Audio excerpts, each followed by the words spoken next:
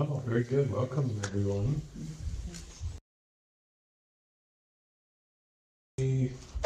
Episode session to uh, hopefully have a good witness and demonstration of what we talked about earlier in the day. And I was talking a little bit about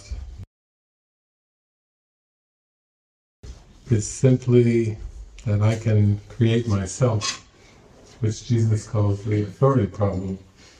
Authority, author, the belief that I can author myself any way I want to be, in form. That would be the belief under what people call reincarnation. to try to invent yourself and then reinvent yourself and reinvent yourself and keep reinventing yourself until you realize the impossibility you can be the author of yourself. Part of the belief that I can be the author of myself, if myself was created by God and I am Christ or I am spirit, it must be that reality is spirit. Or an identity in form must be the belief that I can become the author of reality. Uh, a lot of New Age teachings, that's basically the core of New Age teaching. There's an aspect of helpfulness in it because it is honoring the idea that your mind is powerful, that you're not at the mercy of some kind of external force. You're not just a, a figure in somebody else's dream is kind of a new age idea, but it's not really an idea from Jesus. Jesus, again, is very clear. God is your author, God is your creator, you were created in spirit, and that's the fact.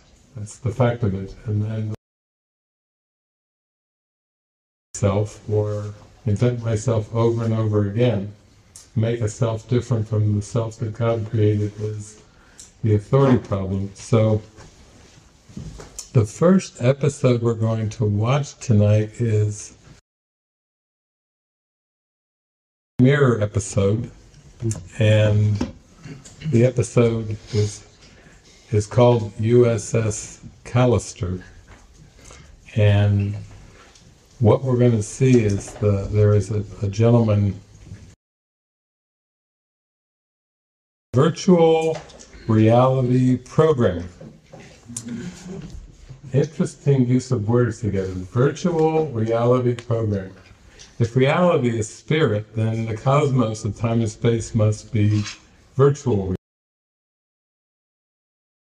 to generate a, a virtual reality or avatars or uh, AI uh, boyfriends and girlfriends and gurus. you know, we don't, the world, the projected world is reality programmer.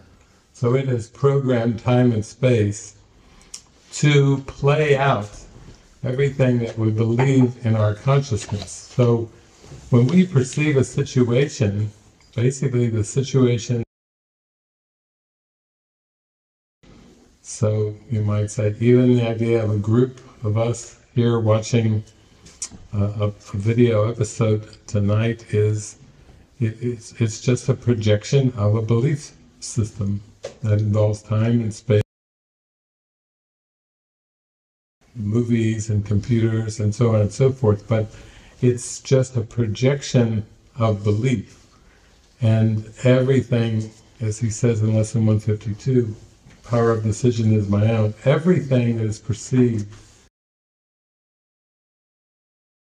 until you believe it. And so the goal might be to empty your mind of all false egoic beliefs, all time concepts, and forgive yourself for the attempt at generating intelligence uh, character or in an artificial intelligence virtual reality. That's it's like a game that the ego is using the power of the mind to play a game, and it's to play a game of hide and seek. and see the ego says, see if you can find some idols that, that give you something that will satisfy you. But they don't. No matter how many times we reconfigure it and try to reprogram action. Another beautiful prophet from over here in Europe, Mick Jagger. I can't, I can't get no satisfaction. And I tried, and I tried, and I tried, and I tried. I can't get no.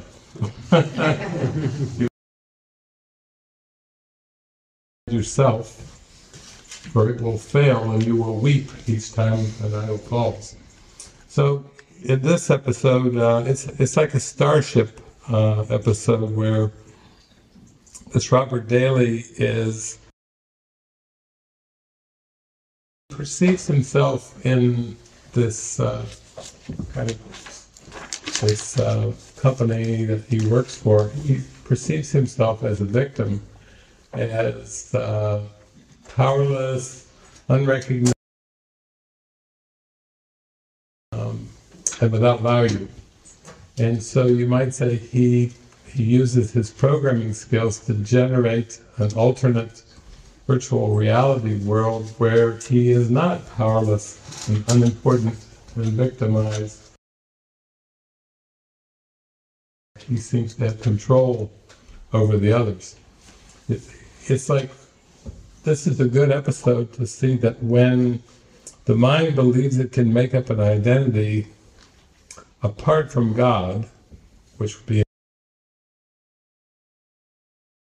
in some phases of the dream, it dreams that it is powerless and weak and a victim of other dream figures, like just a like a cog in a wheel, or just like a a person is at the mercy of forces outside of itself and people outside of itself. So in some phases of the dream, it chooses the inferiority position, and in some phases of this artificial priority position. So, so you can see that that basically, in order to make yourself different from the way you were created by God, you have to believe in differences and then the projected world or to draw forth witnesses of that inequality. And Jesus was basically teaching that we're all one in heaven and on earth the way that we approach the light is we approach the light through perfect equality. Same road, side by side, arm in arm, hand in hand. No one ahead, no one behind. It's like the old thing, don't ask me to lead, don't ask me to follow, walk beside me on the self same road as equality is the, the way that we reach forgiveness. In terms of personalities, equality would would be basically seeing that in the end that I am mind and all of the in terms of the way people could relate to it, people like a sense of perfect equality where there's it's humbleness. There's no one higher, there's no one lower. There's no one more powerful, there is no one less powerful. It's perfect equality. How the ego will try to counteract a belief in weakness with fantasies of superiority, fantasies of control. And this is uh, there where differences are perceived as being real, and some are the people that have, and some of the people that have not. Some are the people that are the leaders, some are the followers. But in the end, it's the resistance to the light that and, and it's following the Holy Spirit and the guidance of the Holy Spirit and becoming obedient to your intuitive self, to your higher self, to the spirit within that leads to the freedom. A lot of times when we we can see monasteries and convents and and monasteries, sometimes there was the abbot uh, of the monastery who was like the leader of the monastery, and then there's there's pre. So even in religion, we see hierarchies of the leaders and positions of leadership and the followers, but but Jesus is saying that if you truly follow your intuition and you are obedient not to people per se, it will bring you into this state of unified awareness and equality. So it's going to undo the pursuit of looking outside yourself for somebody to tell you what to do or to an intuitive inner guidance that, that leads you to start seeing the sameness of everything and everyone, in which there are no hierarchies, in which uh, everything is is equal. It's it's tempting to judge um, spiritual development by years of practice or various um, artificial um, achievements and so on and so forth. The reason I say artificial is because anything that's really an, an achievement, uh, detachment from form, and realizing the, the, the alignment of the spirit, the unification of spirit. Now that would be, you could call that achievement, because it's remembering what's real achievement or a, an experience that you would want to embrace, but it's not about looking after the form to to find others or to try to emulate others' behaviors or compare yourself with others. It's all about questioning beliefs and um, the belief in the self-concept and the belief in the world. So we will see that this um, character, Robert Daly, is a virtual, virtual reality programmer who has invented trick. He sees himself as victim of everyone at his workplace where he is meek and weak and doesn't know how to communicate. But in his space game fantasy, his time-space, he places himself as the Captain Supreme he rules over all the characters from his working life. So he takes all the characters of his working life that seem to not value him and treat him poorly. His own invention, where he is the supreme captain and he basically tells them what to do, and they don't have any choice because it's his game. He's the inventor of the game. That's a kind of a good analogy of what the ego is by taking the power of the mind and then projecting out a world of, of hierarchies, of control, of categories, of boxes, of rules. Basically, this world has a lot of rules, and to maybe they want to try to rule the world. Wasn't there a Tears for Fears song? Everybody wants to rule the world. There it is. Tears for Fears. It seems like the characters are seeking for power to avoid being powerless, to overcome weakness and meekness, to become all powerful. And throughout history, we've had lots of examples of that. I was in uh, was it? I think it was in uh, Belgium, I think, where they uh, where they had this this monument, this big thing that was built where Napoleon was stopped. The military leader, the little teeny man on the horse from France.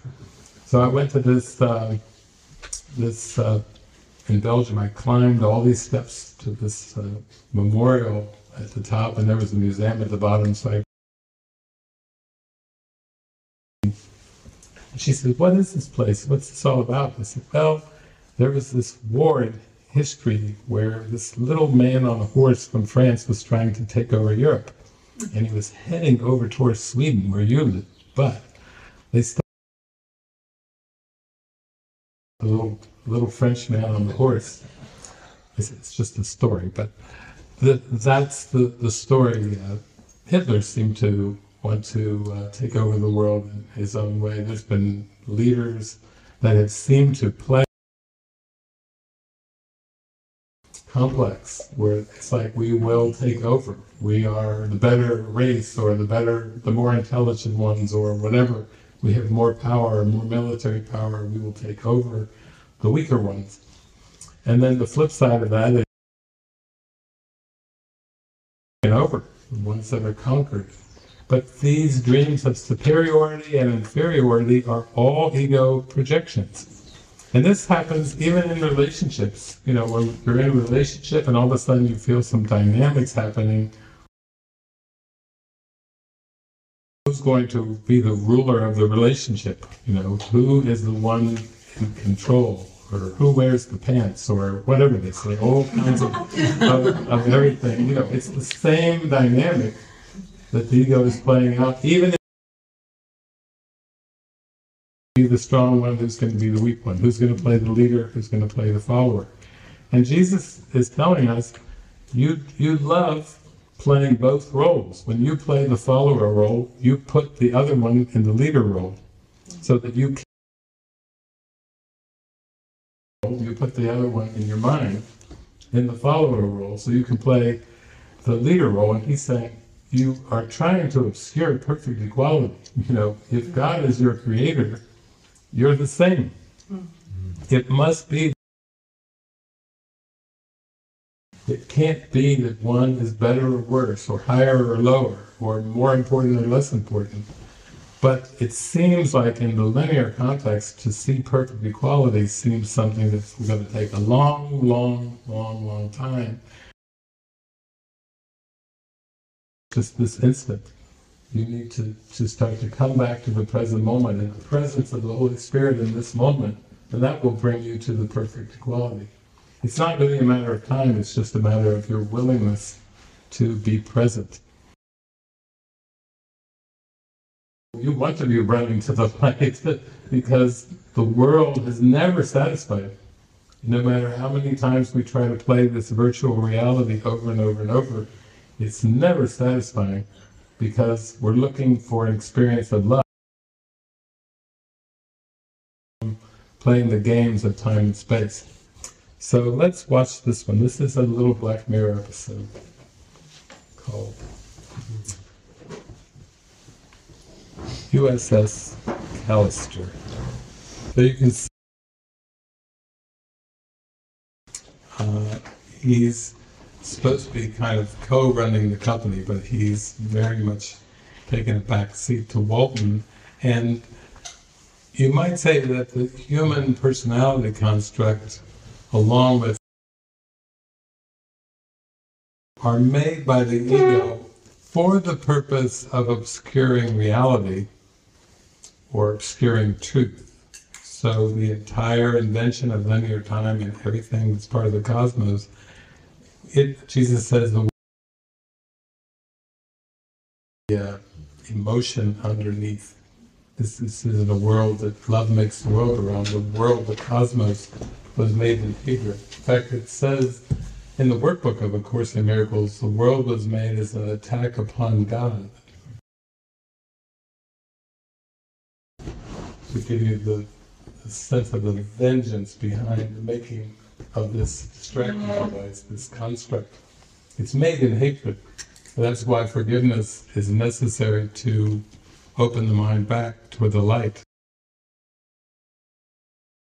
Made in hatred, you know, the ego made it as, a, as, a, as an ingenious device where some aspects of it would seem more attractive than others. Some aspects of the projected world would be so attractive that you would get reality by pursuing what it deems as attractive aspects of time and space and avoiding the unattractive aspects. And in this uh, little scenario we're seeing, you can see that Robert significant, he feels uh, unnoticed, he feels very much inferior And in fact, there, there's this woman who's just got her first day on the job and she's excited. She's thrilled to meet him. Inspires him is getting some sense of personal recognition, but it's important to realize that that's that's the game that the ego is playing with all these personalities. It wants personal recognition. It wants notoriety. Wants to be important on its own terms, in a, in a relative way. Remember Einstein said everything of time and space is relative, and the ego is using the personalities to try to promote self this self and make a better self and a better version and yet a better version. Like they have software upgrades, you get 2.0, 3.0, or or iPhone versions, it's 7 and 8 and 9 and 10 systems higher and higher. And really this this is the motive underneath all education. In heaven there's no need for education because there is no such thing as learning everything just is. Uh, speak. Let's put a period at the end of those two words, God is. But even learning is tied into self-improvement. It's tied into a body belief, to time, and to improve the self. And it's very strong that you're not. When you already are everything, to play the game of pretend like I can get better at being something I'm not. What does that even mean, better at something that I'm not? So things start to go deeper with the spirit within, then there's aspects of perception that will seem to fall away as well. You know, maybe you won't have the same friends, or you won't hang out with the same people, or you won't have the same perceptual life certain aspects of the dream world start to see to disappear from your awareness as you see you have no more need of them. To the ego, this is distressing. You're isolating, you're, you're a loner, you're this, you're that, but actually the consciousness. So we can see here, he's he's gone from his company out the public version of his company, and then he's gone behind closed doors where he has, seems to have a whole apartment with old relics from the past and history past and and being back there as an inventor where he can and use the imagination and the fiction and the fantasy in his mind to to counteract the the world that is what happens. This is why people need hobbies or need certain extracurricular pursuits or things because they're bored, they feel the world is too monotonous, it's too repetitive, it, it other things are invented to uh, to take away the the boredom and the, the monotony and the repetition with something seen to be new, even though there's nothing new uh, in time and space uh, projection of the ego. So let's watch what he's doing here. He looks like he's uh, got his desk and then now he's going to go into his alternate uh, virtual reality where he uh, can play the game of superiority. And this whole guy. so, you know, this is giving us a metaphor for the ego made the world in hate and this is the ego's world. So that's why when we get 28, the world I see holds nothing that I want. That's not a wish. That's that's something that we're to see the the validity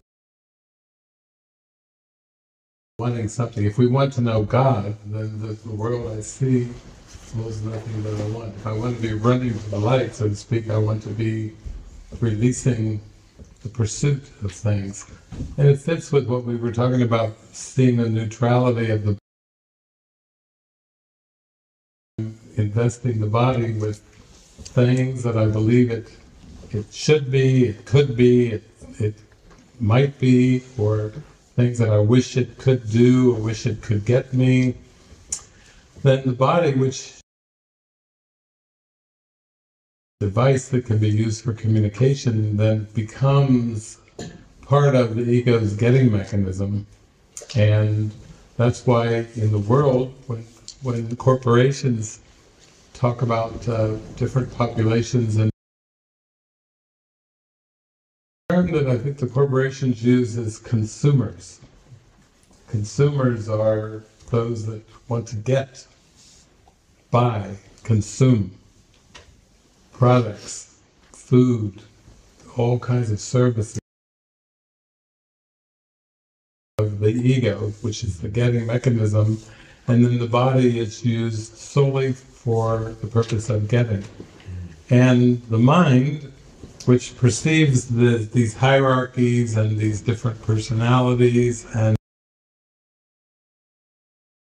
variations and categories and and layers and layers and layers of complexity. Basically, it's it's just asleep and dreaming of, of a world completely unlike heaven and unlike reality.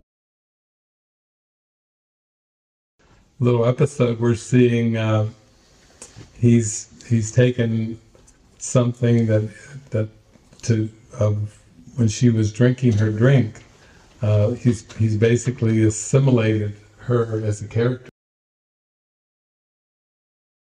And that's what the ego does. It just it, it makes and invents the images and then it assimilates them into its program to get. And the whole program is this keep on getting while the getting's good, get all that you can. When you've gotten it, and Jesus, he's poking fun at this in the Course, saying, the real world is not like the world you see. It has no stores where you buy endless things that you know he's he's talking about money as green paper strips and piles of metal disc. He's he's poking fun at all the defense mechanisms of the body and the world that have been made real in, in egos. In the real world and no reality in, in spirit. So we can see from this, this is kind of acting it out in an extreme way.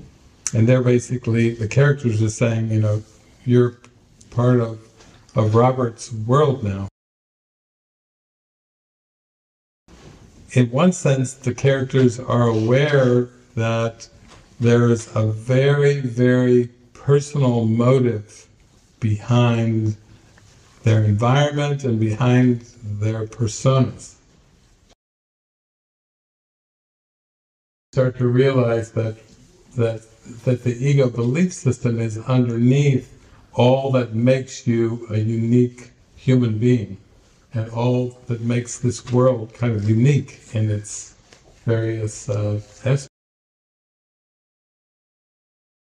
We talk about releasing the ego, that's what we're looking at, releasing that. And, and we're being taught by Jesus, it has to be through giving. Give as God gives, gives as you are instructed, and be obedient not to your higher self to and to the Holy Spirit within who knows the way out of this false belief system. So even in convents and monasteries, you know, over the years, they they would take vows. If you really take a look at that, poverty I always took to mean in the, in the most helpful sense. Poverty is non-possessiveness to take a vow of poverty, you, you can take a vow of poverty right now, and that's just, oh, possessiveness because I don't want the control that's necessary to possess. Like, reality doesn't control anything, it just is. So when I'm into trying to control anything or anyone, I'm into forth. Chastity is, is defined in the dictionary as purity of thought. That's, that's another good vow. Non-possessiveness, purity of thought, and obedience is not obedience to a person or obedience to some The Holy Spirit never commands and the Holy Spirit never demands. Well, that's good to know. If you're going to be obedient to a presence that never commands and never demands, it's like the Holy Spirit offers. The Holy Spirit offers, um, you can even say suggestions. The Spirit makes the suggestions and then you decide whether or not to follow the suggestions. And if you do follow them, you are led into high struggling and challenged. And and this this little episode is is quite an enactment of the the authority problem, but it also gives us more of a, a striking contrast to uh, error. We, we don't want to be caught up into false obedience, false alliances, false associations, false rules, um, and b- believe like they all are, are telling the mercy of, of Robert's mind. This is Robert's uh, TV show or, or Robert's uh, own invention, and they're just all voicing how uh, how they feel uh, Robert wants them to be, and and that it could be extrapolated to the idea that the ego is the one that made up the world uh, to be a reflection of itself, you know, which is under the role. So in this Unis universe, part of the person I'm talking about, the ego, it made its world, and it controls everything of the world, the planets, the spheres, the people. It's basically given the parts, it's passed out all the parts. But the, that is helpful just to the extent that you can start to get a bit of a sense that this belief in being an autonomous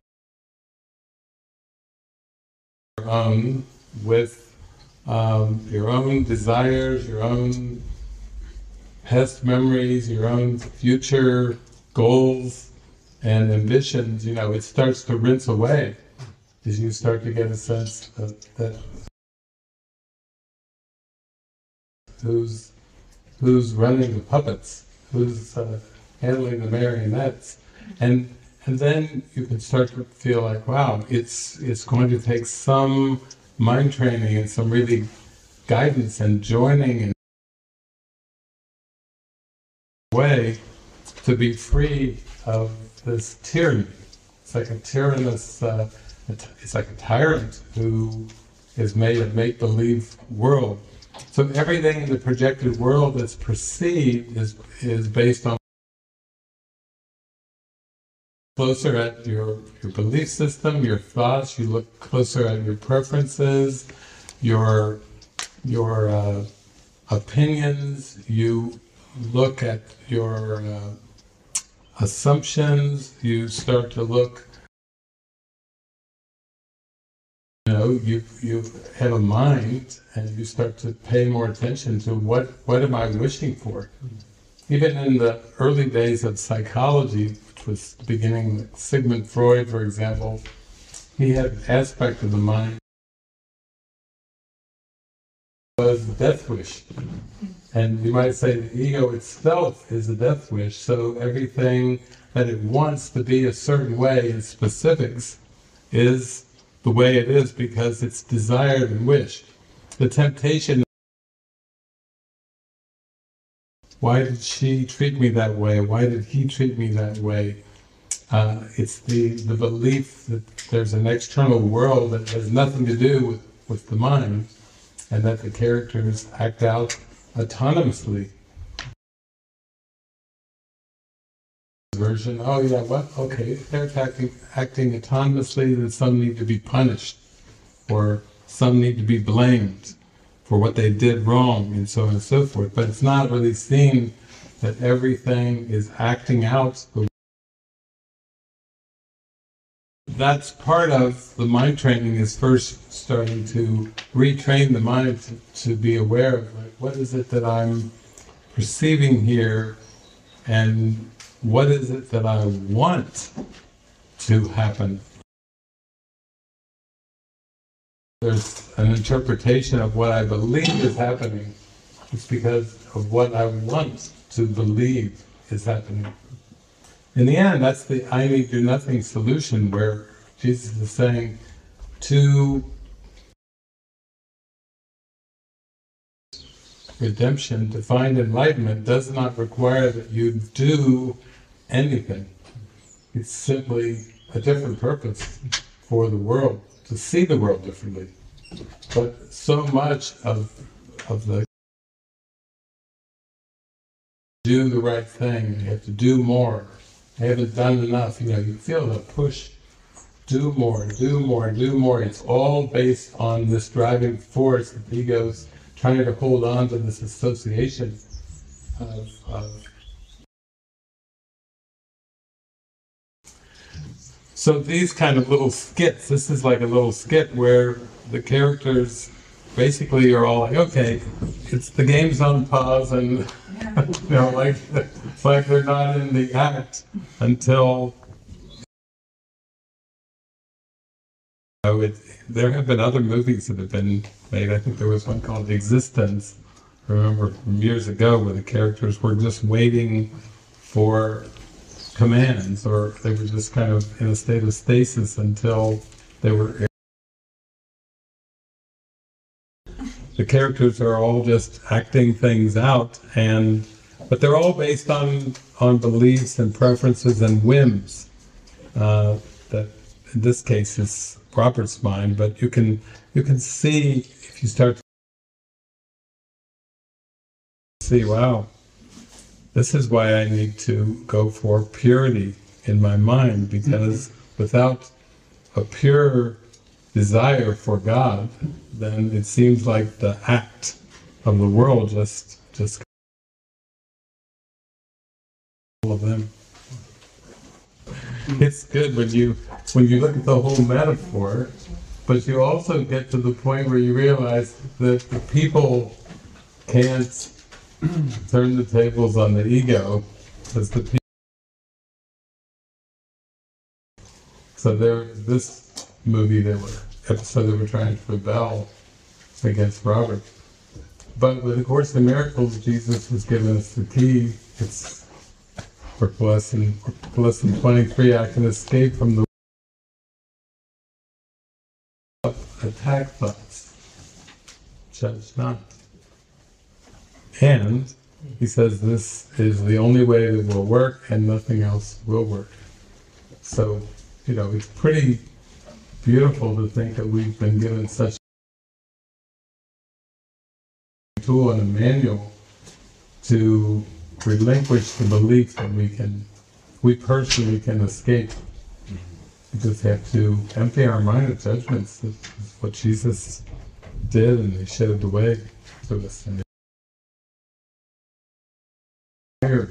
They really, I think we're used to seeing episodes like this, but it's it showed, you know, the the resistance that they felt to having authority.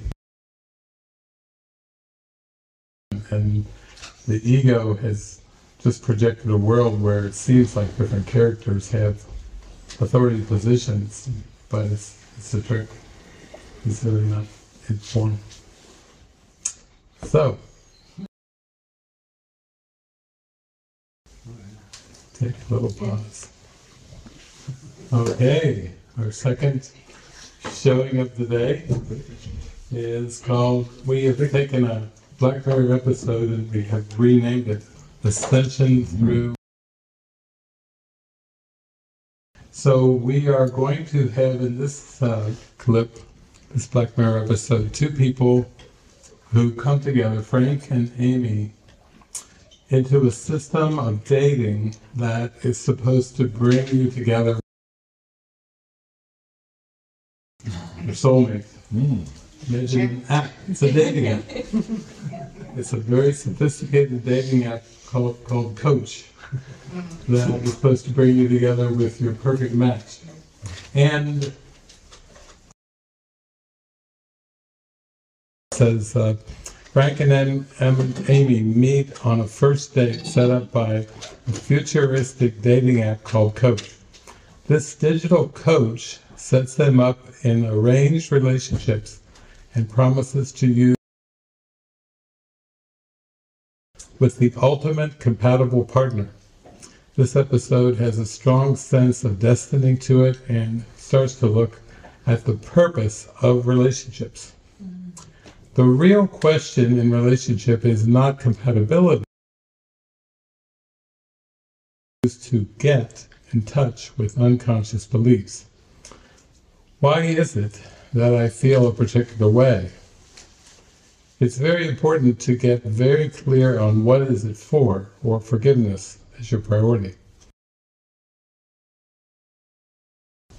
As time goes on, Frank and Amy both find that there is a deeper purpose for these relationships beyond finding their ultimate match. While the ego uses relationships to fill a lack, the Holy Spirit uses relationships for mirroring to become aware of what blocks awareness of the light right now. The relationship mirrors back to your mind aspects that you have pushed out of awareness. Your brother leave, and when promises seem to be broken, it becomes a time for faith. The Spirit says this is not a reason for separation, but it is rather an opportunity for healing. Those all dark thoughts to each other. They experience true connection and forgiveness. Through the acceptance of this higher purpose for their relationship, the Spirit works with Frank and Amy and takes them all the way to the before escaping the world is that the world is not outside their own mind. This journey is an ascension through relationship by saying yes to the end of scenarios and rebellion and saying yes. The ego is the belief in, in autonomy, personal autonomy, and so interpersonal relationships seem to have that dualistic component of two relating, but actually it's just a mechanism that the Holy says, you know, with any single person, you can accept the atonement if you simply see them without the past. Just like we talked earlier about, you could receive with relationships. If you could look at a brother and a sister with no remembrance at all of the past, that's the same entry point into Christ's vision. So that's really the purpose of relationship. Grow something, it's not to build something, it's not to achieve something in time or accomplish something, it's simply to undo the blocks to the awareness of love's presence. A friend of ours, Frank, had basically told me, you need to tune in called Hang the DJ.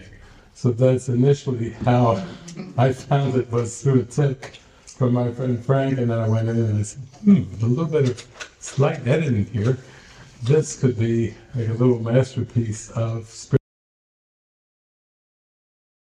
Had seemed to be very mystifying, uh, very perplexing, uh, part of the great mystery of time and space. But once you start to realize, like many great teachers have said, that to have the same relationships, even though the form looks a little different. You've been in relationship with these same issues, playing out these same issues in mind with with characters, even though over time the form perspective it seems like it's with different people. But actually, it's just the mind facing itself in a very destined way. The script is written, so all relationships are maximal. Nothing could have been, been any different. Nothing just maximal for the mirroring of, of the false beliefs to see what is it I still believe in and to let go of all purposes except for forgiveness. And that's what the whole movie. Mm-hmm. Here we go. You know, it's it's quite interesting to look at relationships from a meta, metaphysical perspective, like what Jesus mentions in lesson 158. The script is written. Imagine if all your written in a script, the, the the length of them was predetermined, all the actions we predetermined. Obviously, their food, the fish cake, and everything, the pasta girl, everything, the food was. Menu choices are already selected, but it's a very different perspective if you started to, to look at it that way, because then you would just say, well, then what's the point of the relationship if it's all predetermined? Immediately start to come to watching your mind and paying attention to your feelings, your interpretations, your thoughts. Just like if you were watching a movie and the movie had a relationship in it and you just watch your your interpretations as you watch the movie and that was the usefulness of watching the movie of the relationship. Can you see how different that is from thinking I am an autonomous person to be in relationship. I can choose when I want it to begin, or it seems to be somewhat that way, and when I want it to end, and so on and so forth. It's the autonomy, it's this ego autonomy of believing I have uh, I have my own set of private thoughts, my own ambitions, and my own personal history, and we're dealing with uh, something that seems to be very autonomous and independent. And then the relationships that are inclusive in this world. And in reality, Jesus is saying, if it's not all inclusive, and it's not all inclusive, universal agape love, it isn't real. You're, you're hallucinating something. Made up, make believe uh, fantasy your own made up fiction. And then also all the issues that you believe you have in the relationship are part of that fiction. All those upsetting emotions, stressful emotions are also part of that fiction. That when we try to have a will apart from God and, and have a, an identity apart from God, it's very complex, it's filled with issues. Some of those issues seem to repeat over and over in other relationships. It's part of a projection. So this little episode tonight is kind of loosening from a lot of the typical beliefs about autonomy, personhood, and interpersonal relationships where you can the seeming relationship. Uh, this is from a relationship app uh, called Coach and a system that is supposed to be designed to bring about the perfect match, guaranteed. In one sense, it's more like uh, app is uh, attempting uh, a personal perspective uh, and basically this movie is instead of attempting to be a person, this is attempting to be a person in a relationship, and that's the construct of this world. That's what is taken as reality when it does. And we have to have this construct, this pursuit undone, because until we have it undone, we're just kind of spinning our wheels with with the ego and and falling for its tricks and traps. That the relationship in form and the issues are in form, and that's our problem to finding love. And and quickly we can jump into the next trap, which is I haven't found the right partner, and there must be an fulfillment. And then there's the pursuit of that as well. But that's also another loop, another uh, ego loop designed to bring the mind into a sense of perfect unification. On relationships in the Manual for Teacher, and there is in the third level of, of relationships, it's described as lifelong relationships. And Jesus says, where the teaching learning balance is actually perfect. So,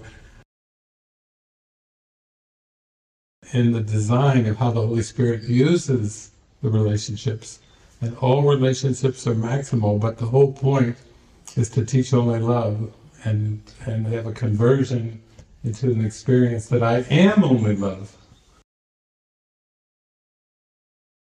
Spirit. I wasn't what I thought I made myself to be, or I invented myself to be with the ego, but I've been pure, pure love all along. So here we go. This is this is cute. This is uh, Amy and Frank and uh, and Coach, and they're just following along. You see their cute little uh, ride they have there to their first to their cottage, and they know that they have less than twelve hours. Mm-hmm so the time is given on the app too for the length.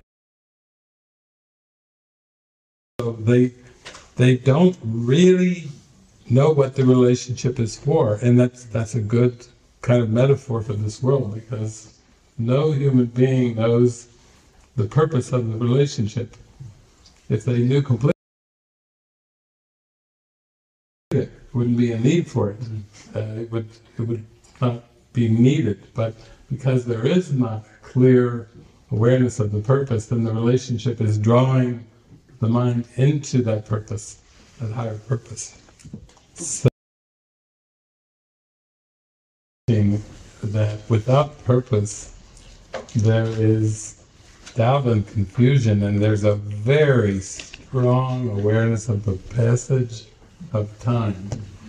And you know that when you're really in the joy of purpose, seems to be not in awareness. It, you know, it slips by without awareness. So this montage is really showing that, you know, in the sense that if there's like a vibrational connection, then it's there's not with the and irritations and annoyances. You know, it's not necessarily something specific. It's not necessarily even the specific things that are perceived that are annoying or the underlying belief in time itself that is heavy because God didn't create linear time so it's that's what's being portrayed in the relationship the passage of time the sense of waiting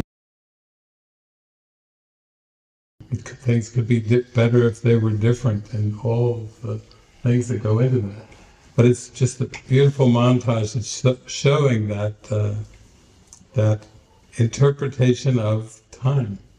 Uh, and Jesus the present moment and calling us into a unified purpose that he says uh, only a constant purpose can stabilize events. In other words, we will have seemingly variable perception we have a right-minded purpose. Till we become right-minded, then everything is topsy-turvy. That's just a description of the human condition. And it's never really about the specifics, but it is about linear time and the belief in specifics. Were made by the ego, and they are never satisfying. There's no uh, set of specific uh, circumstances or set of specific outcomes that that perfectly satisfy the by God. They're, they're just part of the, the projection of uncertainty, the projection of um, confusion. The projection, this world, this linear world, is a projection of self-doubt. And the only or who am I? And then underneath that one identity confusion comes all of the fatigue, all of the the struggle, all of the challenge, all of the conflict, all of the issues, all of the crisis, all in the mind. So we're seeing them using their uh, dating app a lot, but mainly they're just using it not so much for instruction now, they're just using it as a timekeeper. How long do I have relationship, you know? And that's probably not the best use of a dating app, you know? it's not like having a little someone's timekeeper. Oh, okay, watching, wait, waiting for it to, the, the timer to go off. We go. So he, he, Frank seems to be going to be tempted to look at the the coach for the expiration date, expiry date, and it's interesting.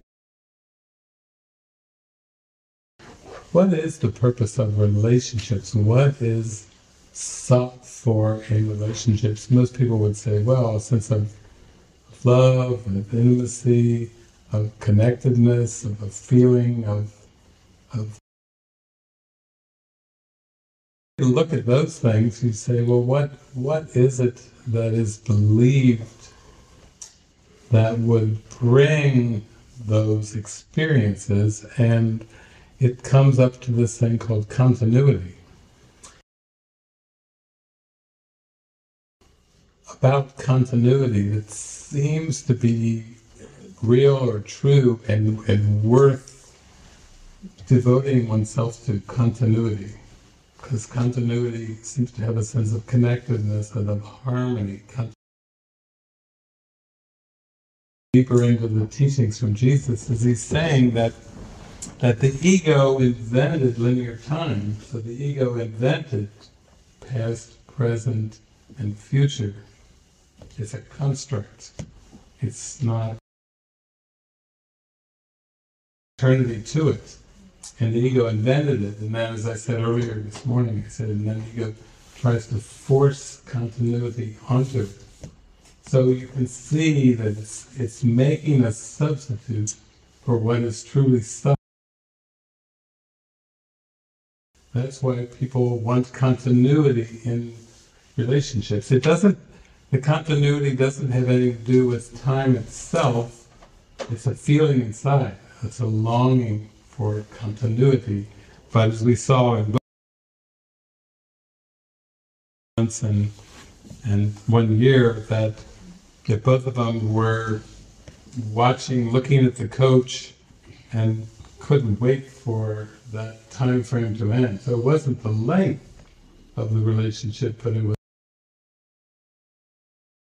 for continuity and maybe continuity unfulfilled and that's why to focus on time. So it starts to be more obvious that we either can train our mind to focus on the present moment, and Jesus is teaching us that's exactly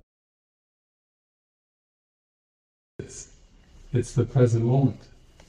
He says the present moment is the closest approximation that the, of eternity that this world offers. That's pretty strong. The present moment is the closest this world offers. So now you can see why all the mystics and the saints, all the avatars, everybody was always focused on the present moment. Eckhart Tolle, the power of now. You know, it's just come through our teacher. And and then we start to see that the ego is trying to make up a substitute for love using its own uh, constructs, its own inventions. It's invented invent continuity for linear time, and it's literally trying to force continuity onto past, present, future. And Jesus is saying they don't go together. He's saying the past is gone, the future is but imagined. It's the approximation to eternity. So clearly, the continuity that's sought for, the love that's sought for, the eternal life that's sought for is only found in the present. And clearly, the past, because I always say the past is is gone, but the past, for the ego's purposes, is just projected into the future. So you have the past past and the future past. And if the script is written, viewed yet, something you haven't led into awareness yet, but it's it's just going to come up. But it's not going to ever satisfy. So that's why he says, be not content with future happiness. It's not your just reward. You see it's, the whole journey is more, we can say it's hardly a journey, it's more of a, it's an inward movement and dropping down and letting go and sinking into the present moment, which is really what prayer and meditation of everything you think you think and think you know, to empty the contents of consciousness and come back to the light through that. You can see with them, they seem to have like a vibration, there's like a connection or a flow you can feel with these. And yet, even though the first time they were together, they checked right away for their expiration date, and it was 12 hours, and they both were like, kind of short. Yeah, that is kind of short. And then they were awkward and they kind of stumbled through their 12 hours and, you know, didn't the system, you know, and so they did. And now there's there's that connection and flow there, and you can see though a little bit with Frank where he's starting to glance over at at the and then before that in another scene he's kind of he's kind of viewing it. And and you can see that that that's a good symbol in this little episode of the temptation of time. Whenever we're tempted in terms of time that is an egoic temptation. You know how long will it last? Or how how has it been? Even valuations of relationships based on the past or uh, expectations. You can see it's part of an addiction where there's a dependency going on into the form. Uh, it's like this is equated with love and equated with continuity, and then there's a dependency that goes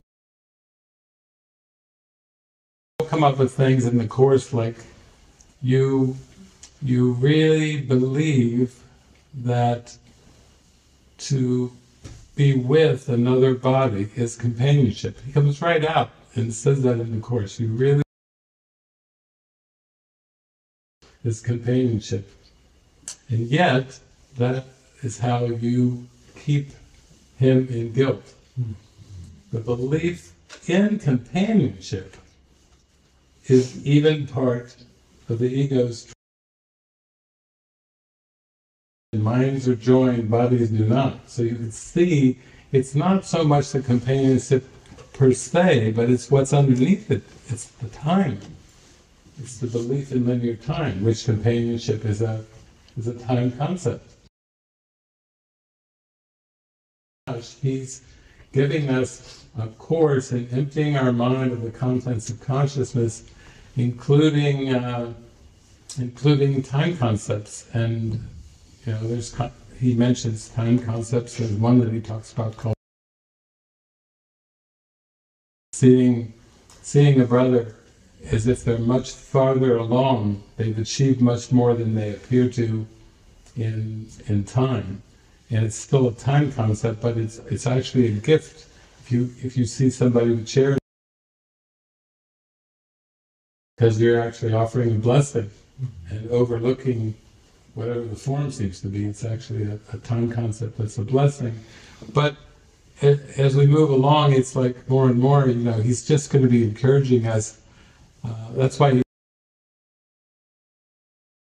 a healed mind is relieved of the belief that it must plan. Relieved of the belief that it must plan. Well, planning is clearly again He's saying healed mind is relieved of the belief that it must plan. It's a defense mechanism. It's a it's an insecurity. I gotta plan the future so I'm safe. I gotta plan the future so I'm secure. You know, it's another there's that same lesson where Jesus talks about vision, and again, basically he's saying you can have vision, which we talked about earlier with the table, but you can have vision if you don't activate the past,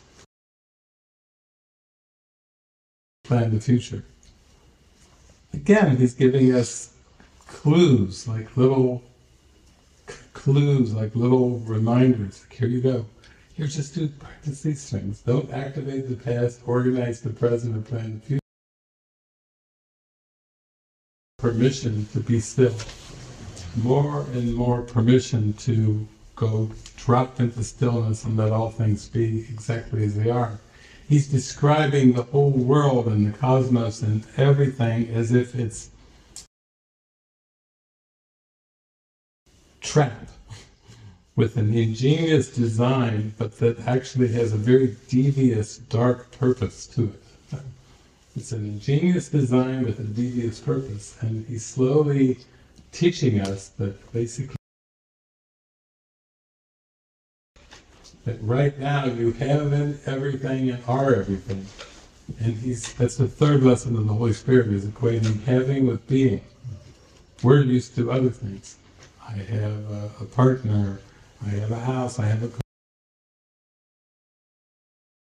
and Jesus is like, no, no, no, no, no, no, no, not, not, not, not, not, not, not. You don't have any of those things because that's not what you are. You aren't a bank account. You aren't a car. those things. What you have is what you are. Like the the cartoon Popeye. I am what I am, and that's all that I am. That's actually the Holy Spirit coming through Popeye. That's Pocahontas, Popeye. So the face of innocence. what is everything? What is anything for? You don't know what anything is for. but but that's it. Just shows how us to is so different from all the goals that we've been accustomed to. So radically different. And here, they've come to like an agreement here to not check the. They have an agreement, but uh, it's it's actually quite a good agreement because it's almost like the agreement to not check the expiry date is basically saying we're not going to put our focus on time. Know, it, it actually, if, if we do pull our attention away from time, as we go on more and more and become more and more intuitive, just accepting we're always at the right place at the right time, and that's a, a fact. We can relax into the fact that we're always at the right place at the right time. We don't have to try to be somewhere else, or even hypothetically think of another time, or think of the future. We can. He's got a little bit of a temptation there. He's lying in bed awake, and he is starting to be tempted to look at the expiration date, and that is that is our to make illusions real.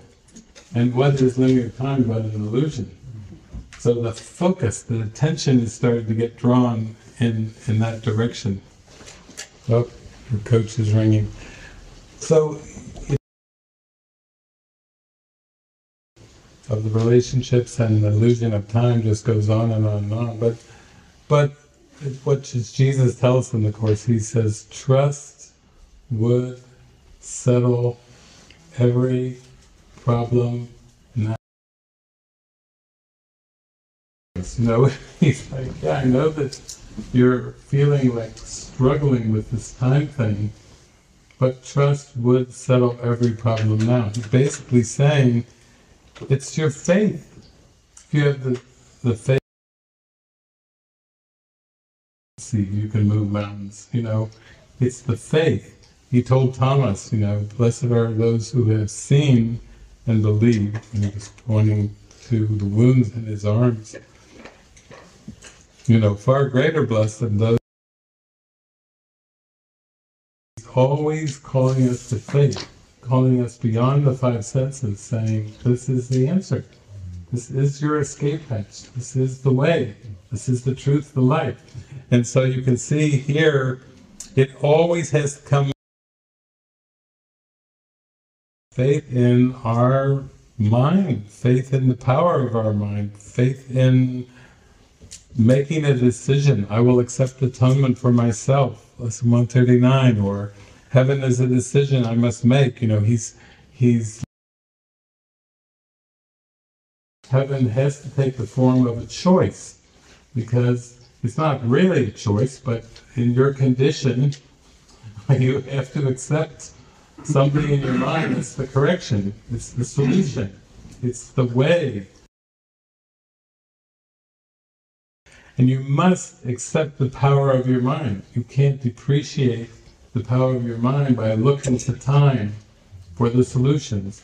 You can see the frustration uh, for both Amy and Frank. You know, they're they're both very said, I am the Alpha and the Omega, the beginning and the end.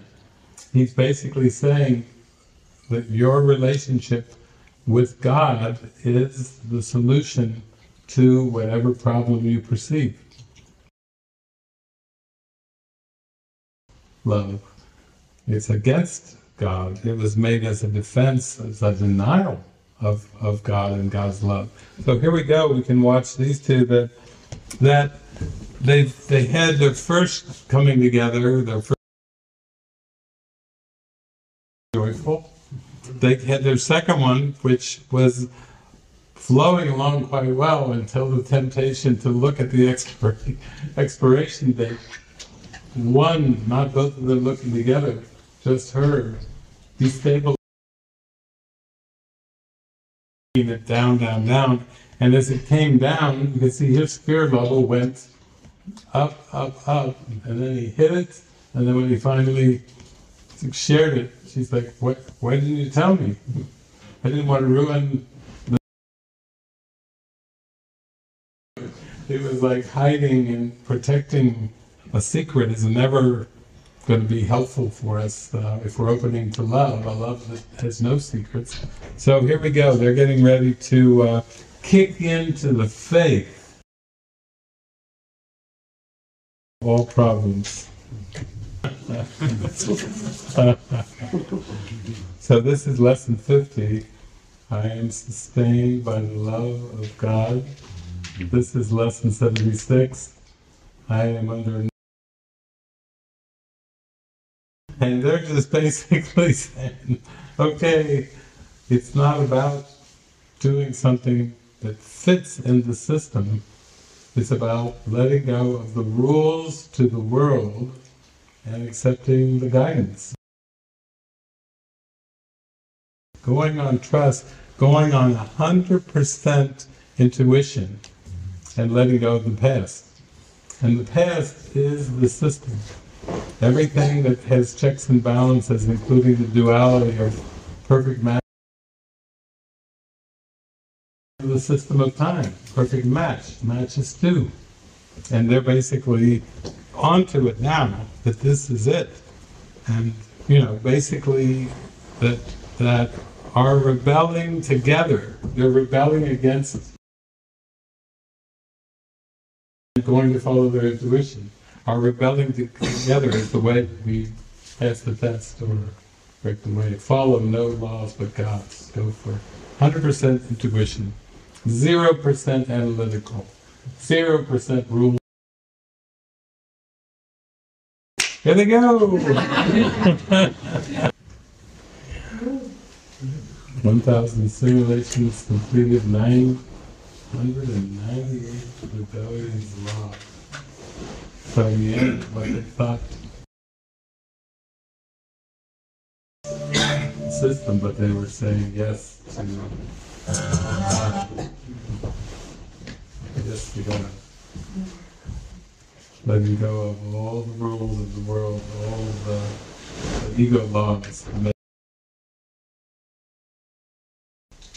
and then the simulations were they up, up they went like bubbles. all released to the light. Yeah. It's just a powerful symbol of, of oneness at the end. It'd be the final step of, of letting go. Because we, the first uh, episode we watched, you know, it was kind of like the, the characters starting to sense they didn't like the way, they didn't like to be something else that was greater than them that was controlling them, and yet they tried to rebel as persons to find a way to escape. But this this was more of the actual from the world I see uh, by giving attachments. And that, you know, that's what they were doing at the end, just going totally into the trust, totally into faith and, and letting go. And even the symbols, you know, the, the, the whatever those things were meant to be determined, you know, there was nothing. You know, there and then and pushed down, and then the whole defense mechanism just froze up like it wasn't. Uh, just that denial. There's one part in the Course where Jesus says, deny the denial of truth. There it was, deny the denial of truth. Don't let any form scare you. Jesus was a good example of that. Just accepting the resurrection, accepting the atonement, and then ah, the form can play out. It can seem to involve a trial, it can seem to involve a cross. The fact of it, the fact of I am as God created me, that's the, that's the fact. The rest is uh, immaterial, irrelevant. Error. Those are very unusual little uh, episodes, but yeah, very strong. Yeah, and the tears of the angels upon us. Thank you so much, David. Uh, thank you. Yeah, thank you. Thank you. Did uh, Jugita make it? He's still here. He was here for that.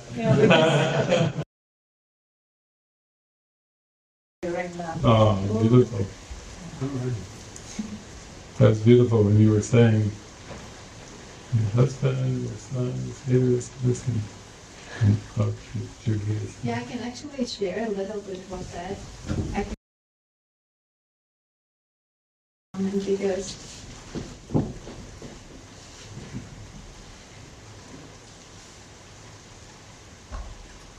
I'm not sure if it's if, if if the movie brought me a little bit into that, but I was just observing the stories of my husband with my son coming through the darkness through these roads and the stories of them and just being killed or whatever, dying, just the like some kind of like out of nowhere. And I just invited spirit and went deep, very. And it came back to this place of gratitude. We are not here. We are not here. We are not here. And the tears started coming down. And I feel at peace now. I want God's will be done. So, however it has to look, I really want it because I really want to. I really. And nothing else. Hmm. Yeah, and soon after that, after I really came to that peace and acceptance, you said your husband and, your, and son is here. And I didn't ask them, I didn't about it. You just said your, and I, I I looked around, I'm like, what is going on? What, what are you saying? Like I looked here, what are you saying? I, I don't understand because I have no idea what is going on. So Thank you. Thank you for letting go. Mm-hmm. It was just so, so beautiful. Like I mm-hmm. feel this rush of energy, just like. I'm so grateful. Mm-hmm. That's the lesson right there. Mm-hmm. Thy will be done. There there is no other lesson than thy will be done, yeah. And it's a yeah. Yeah, really, that's really my, the, the prayer of my Yeah. heart, really just to, just to be so aware and to be so grateful. I really had these, this profound gratitude for just all of you. I really feel in my heart, this is God and this is my lesson and they are just playing this role for me. No one really needs to be saved but myself like you're all in heaven in my mind, and I'm the last one. Just me. And there's just, just, I can't express it in words really. Mm. It's So beautiful. Mm. It's like it's totally within. Thy will be done is totally within. It's not the form. It, the form really becomes irrelevant to the that thy will be done. Yeah. And Jesus even wrote a little pamphlet supplement called the um, the Song of Prayer. It's like a ladder, and at the very top of the ladder, the last prayer is, "Father, what is your will for me?" That's the, that's where the ladder ends, and then it's like a, just emerging with that. Jenny spoke what she spoke, and then I saw you slowly get up and anything you said. I don't know anything, which is, of course, the expression of the prayer of the heart. I don't know anything. You know, that's that's how you were it was almost like you weren't oriented. You were just in the flow of, of everything.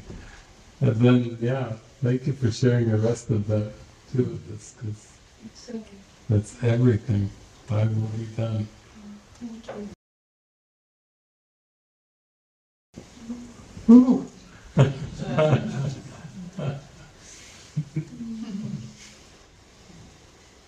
the rain came down to a hush as you spoke of it.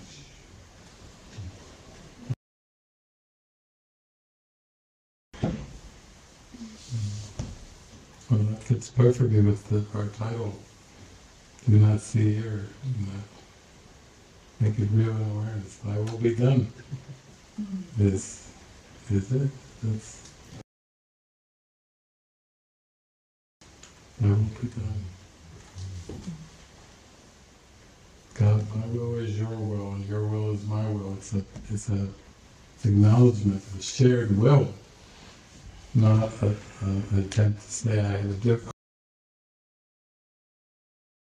from you, but I have a will. Because will It's just, it's for happiness. That's we're entitled to that happiness. It's, it's God's will for us. It's like saying yes to happiness.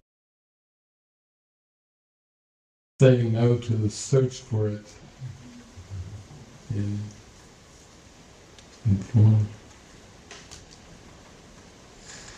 Okay, in the, the Constitution?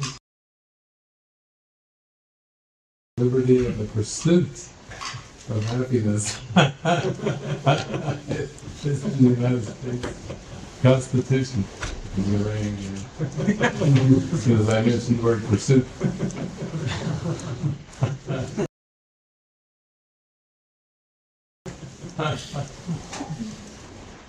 Doesn't really go with happiness, pursuit.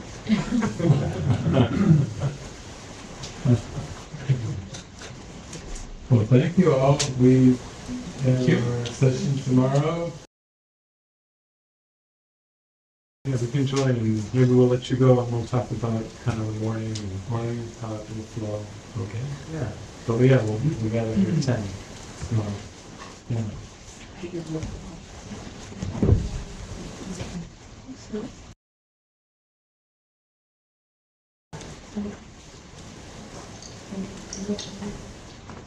Does anyone want to drive uh, down to the college because of the rain? You have David. you know, To the park.